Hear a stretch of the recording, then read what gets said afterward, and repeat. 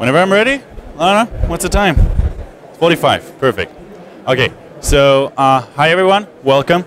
Um, giving a talk about, as you can see, LLVM and OpenMP. So, where are we? What is going on? If you are interested in LLVM and OpenMP, this might be a good thing. Um, I will briefly talk about Clang, Flang, and other things that are happening. If you have any questions during your talk, feel free to ask. So, what I have actually is a lot of bullet points in the different categories of things that are happening, but I want to answer your questions. So if you have questions now during the talk, ask them. Otherwise, ask them afterwards. That's fine as well.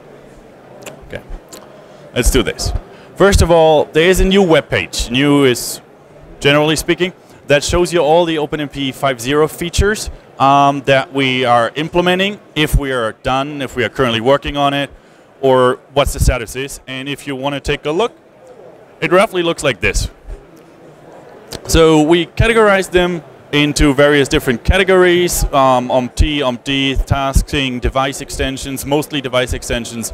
A green is done, red is usually unclaimed, nobody is currently working on it, as far as we know, and yellow means people are working on it.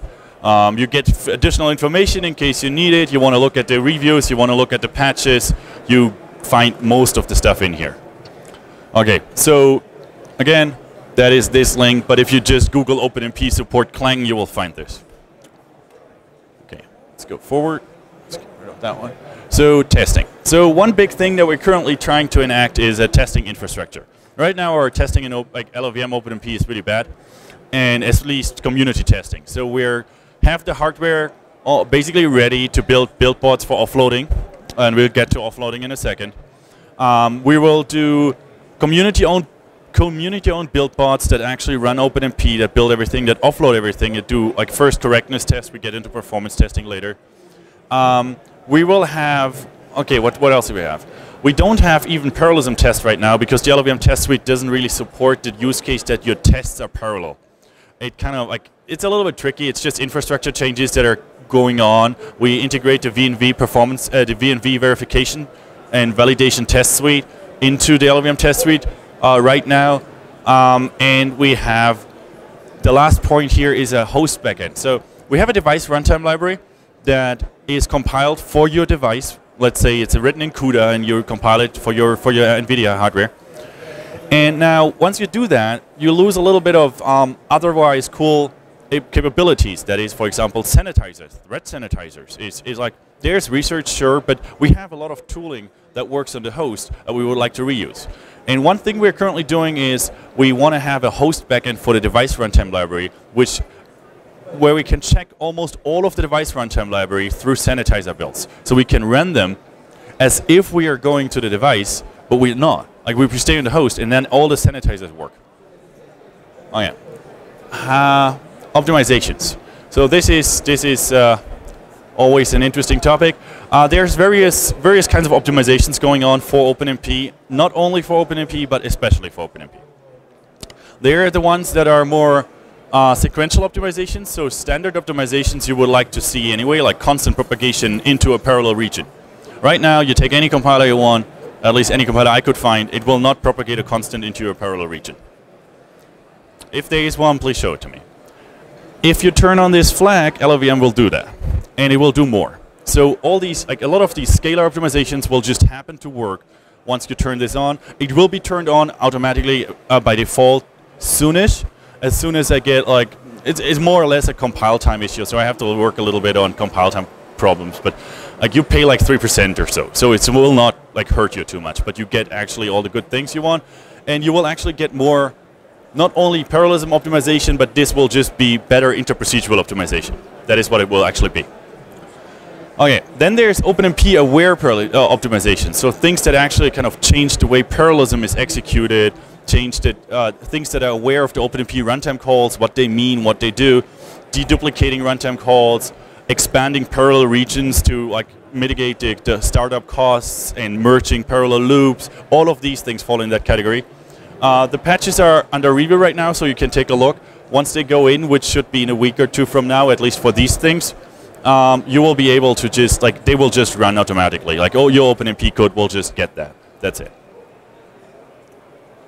Target offloading. Uh, we have right now in mainline LLVM, support for three different offload targets. So you can offload to your host, to your like like host like accelerator multi-core, which is roughly the same thing, and you can offload to NVIDIA GPUs. Um, we are in the process of restructuring the device runtime library such that it's easier to add more targets, for example, a host target. And AMD is doing a lot of that heavy lifting, and we should get there that we this year can offload to AMD with LLVM Clang mainline. There is already open source versions that can do that, but merge everything in and offload to AMD. Uh, we have support for math functions in your target regions, like like the actual NVIDIA math, like intrinsics and, and implementations, uh, will work. Also, other kind of target-specific code will work. Like you could basically write CUDA inside a, a, target region that goes onto an NVIDIA device. That will roughly work in Clang. Um, but there is a caveat here that is the way we enabled the math function support caused us a problem with regard, like some math functions will work and sometimes you run into really complex errors that you have like manually declare symbols or not. It's, it's a little weird and it will be fixed as soon as we implement one of the TR8 features. So we got it into TR8, which will be 5.1 standard. And one of those features, we need to actually implement the OpenMP implementation for math functions. So uh, we go that way. It took us a little bit longer, but that will happen.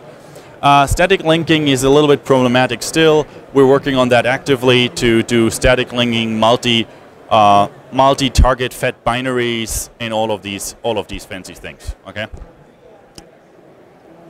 Okay, so Fortran, the fan fa the favorite here, right? That is the, the Fortran crowd. Um, so we'll have new Flang, uh, currently still known as F18, or at least the repository it lives in is, is, is, is, known, uh, is named F18, and that will become new Flang or Flang once we move, which should happen in a month. Let's assume it happens in a month, this year. We move F18 into the LLVM mono repository, call it Flang. And then old Flang, legacy Flang, is all but dead. It's already all but dead. So you can use it to offload, you can use it for OpenMP, but there is little to no support anymore forward, going forward. Like development basically has completely moved to F18, and everyone involved is actually actively looking into F18. Um, there's a little bit oversimplified, but roughly gives you the gist. Um, what we do is we have parsing support for OpenMP are basically done. Uh, we have semantic analysis, like the, be the beginnings of semantic analysis for OpenMP, but there's a lot of work to do in that in that area. And what we what we decided to do and what we started to do is we ripped out the code generation out of Clang and put it in a different place such that we can reuse it, the OpenMP code generation, such that once we get the semantic analysis up and running, we basically can get code generation actually working code way faster because we will we will reuse all the infrastructure that is there. Okay, so we will have target offloading like like only a short period after after we start to have semaphore. Um, how we do that with, with the with the uh, ripping the code generation out and reusing it between different front ends. It's the OpenMP IR builder, for the lack of a better name. Um, you will task it to build you LLVMIR for a directive. Let's say I want LLVMIR for a parallel or parallel for or a, ta a task or a target, and it does this for you. So you don't need to care how it actually looks, what runtime calls are involved. We can change them like easily without you ever noticing.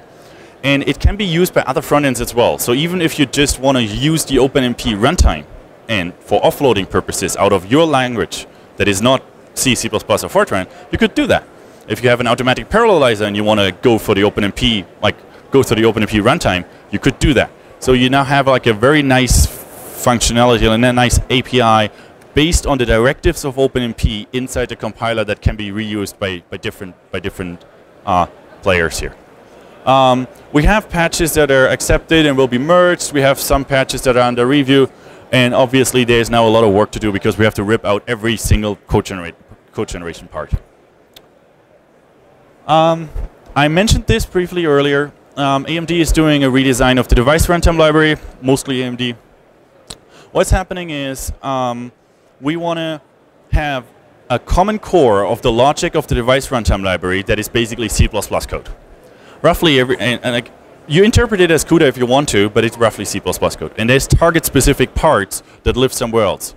If you, if you add a new target, you just like kind of fill out this, these functions and you're, you're up and running. So it, it should allow us to get us AMD fast and afterwards other GPU vendors for sure. And then other than GPUs, we have to look and see what how the reuse between non-GPU targets and GPU targets will look like. Mostly now it's everything is, is kind of tailored towards GPUs. Um, while we do this, we will actually also change the API on that layer, or at least layer it and add like more abstraction uh, abstractions on it to get better optimizations there, like, and help the optimizers to actually change your offloading code. Uh, was it? That might have been it. Yeah. That was that was the last of them. So those were all the kind of different areas that are currently under active development. If you have any questions on them, sure. You mentioned that uh, you want to create a kind of device offload for the host to use the sanitizers and that stuff. Will that be a separate memory space or running as a separate process? Or are you going to share memory because that way you, I think, lose a lot of the capabilities that you could get? I, I, can't, I, can't, I can't tell you for sure because we haven't started to do that yet. So I know one person that looked into doing that after we had the idea, but uh, I'm, I don't have details on how it will look like. I would not have thought that we need to do to share like to do different memory spaces. I would have thought it would be fine if just like you sanitize your whole application, including the runtime. Like we do that at least for testing purposes. Like people would not necessarily do that, but like for our stress testing, we could have a build on CI build that does that with thread sanitizer enabled, and then we catch all these nasty bugs where we do stuff on. Other question? Okay. Thank you, guys.